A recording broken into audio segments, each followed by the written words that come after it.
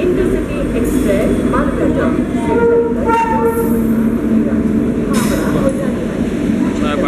platform संख्या पाँच पर आरक्षित है धन्यवाद